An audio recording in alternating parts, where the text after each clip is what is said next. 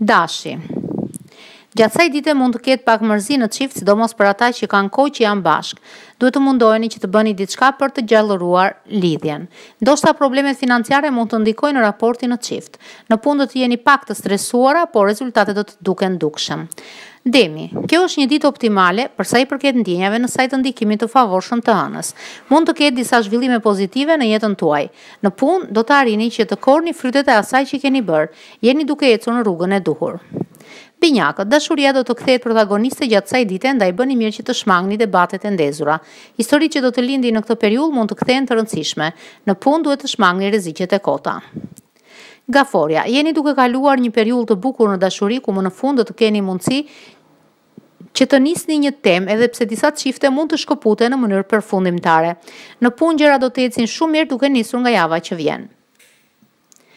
Luani, nëse në punë ka diçka që nuk shkon, mos ia vini fajin tjetrit, por mundohuni që të të shihni brenda vetes.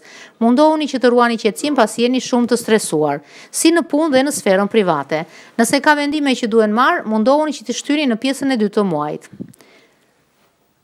Virgjëresha, do të nisë për ju një fazë rikuperimi në sferën sentimentale ku do të ndiheni më të fortë. Në punë ky është momenti për t'iu përkushtuar më shumë.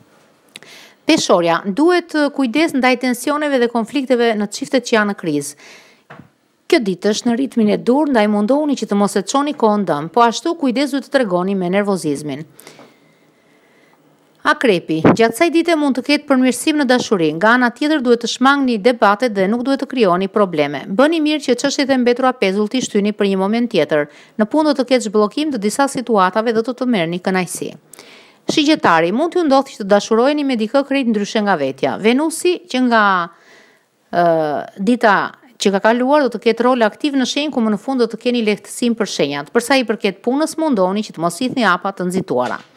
Bricjapi, dashuria është mjaft e favorizuar nga hëna të cilën më në fund nuk do ta keni kundër. Në raportin në çift do të keni mundësi që të buzëqeshni.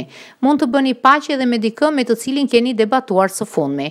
Në punë mund të ketë përmirësim, ndonëse problemet financiare nuk do të mungojnë. Ujori. Kjo e martë nuk do të jetë shumë e mirë për dashurinë ndaj mundohuni që të mos tregoheni impulsive dhe të shmangni debatet e kota. Kujdes duhet treguar me emocionet e forta që mund t'ju përfshinë. Në punë keni nevojë për më shumë qetësi.